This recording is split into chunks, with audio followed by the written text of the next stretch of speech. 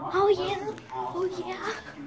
Something new just happened. So I have three amazing uh things to tell you. Um so one who's a fan of Captain America? You? You? Maybe you. Comment if you are, but raise your hand if you like Captain America. I'm a big fan of Marvel, and so me and Colin are going to be making a Marvel um, movie.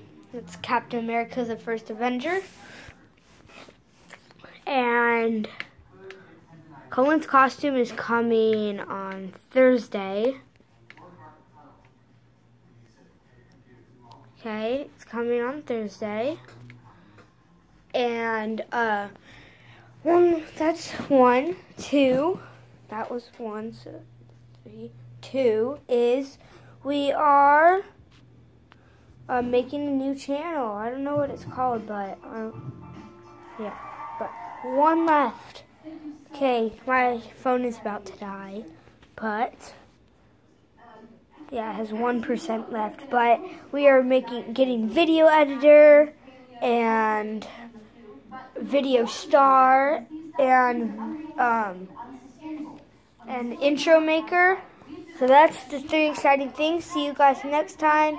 Bye.